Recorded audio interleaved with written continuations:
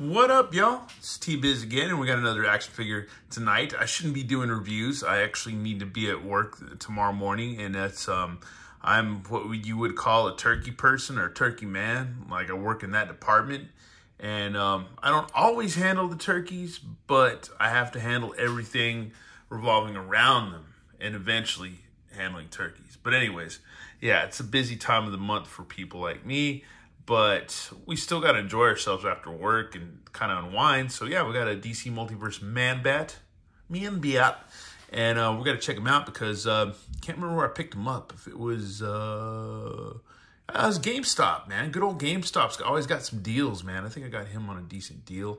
Um, used my coupon, I believe, too, maybe my monthly coupon, and um, or not. I think I used that on a Boglin.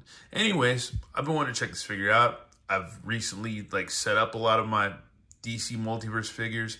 not quite done yet. We still got a lot of reviews to get through, but they take up a lot of real estate on the shelf and they look awesome.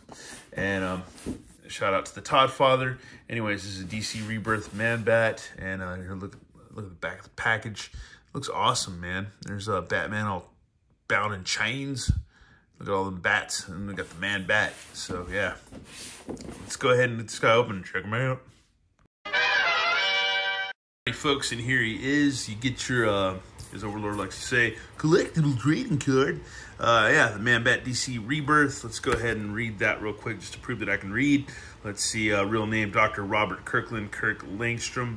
This genius level zoologist attempted to make a serum derived from bats in order to give human, or human special sonar senses.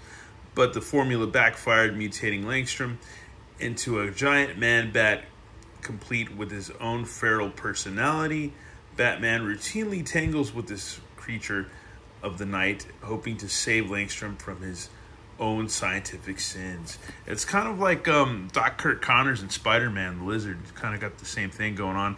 And um, rest in peace, uh, Kevin Conroy. He's he is the Batman for millennials, and for I guess people my age too. But my my Batman is more like Adam West Batman maybe, and uh, DC superpowers Batman, like George Perez Batman.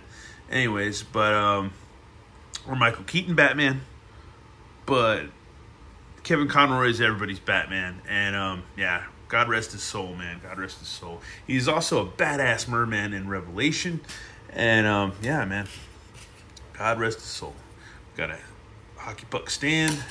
Here's our man bat. He looks pretty cool for a mega figure, man. I like him a lot. Uh, Will he stand well? I don't know. We're going to have to find out. It's going to be good luck on that. So let's go ahead and dig in a little bit. Face sculpt looks pretty sick. Pretty freaking rad. Nice paint apps. The sculpting is amazing. If you'd have told me as a little kid, or not a little kid, at least a high school guy, an early 20s guy, that McFarlane would be doing DC figures, I'd be like, no way. Uh-uh. It's not going to happen. That's crazy. He's Image. He's Spawn. But no, he can do Spawn, and he's going to bring back Spawn, and he's going to bring uh, do DC stuff. But look at all this detail on the wings. That's pretty cool, man. Got sculpted pants as usual. He's got a, he's got a nice butt. And you got double knees and all that. His feet seem like it's going to be an issue with the feet. Um, they do bend, but they only bend so much. They don't straighten up because he's a feral man bat, so he doesn't need to stand tall and stand straight. Two feet do swivel around all the way. Let's see, let's zoom out a little bit more. Whoop, there we go.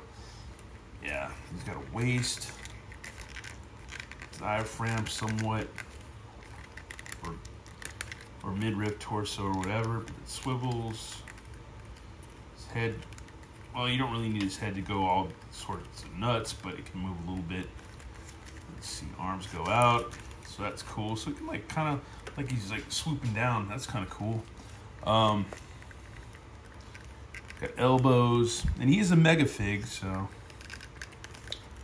let's see. Ooh, ah, elbows, and he's ready to punch too. He's ready to swoop down and just punch the crap out of Batman. He's got cool cuts in his pants. Got big old feet, man. That's crazy. You know what they say about guys with big feet?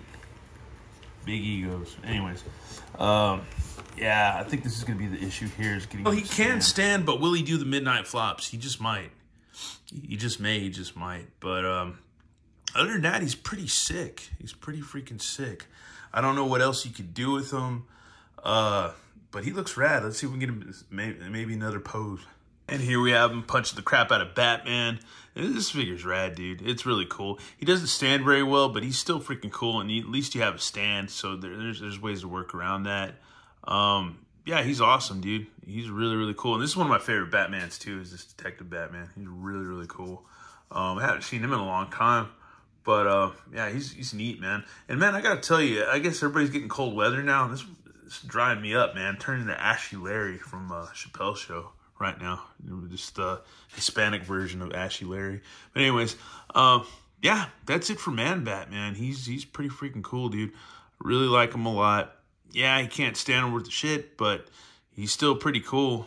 He's still freaking awesome, and he just, you know, as a mega figure, yeah, dude, he's he's, he's up there, dude.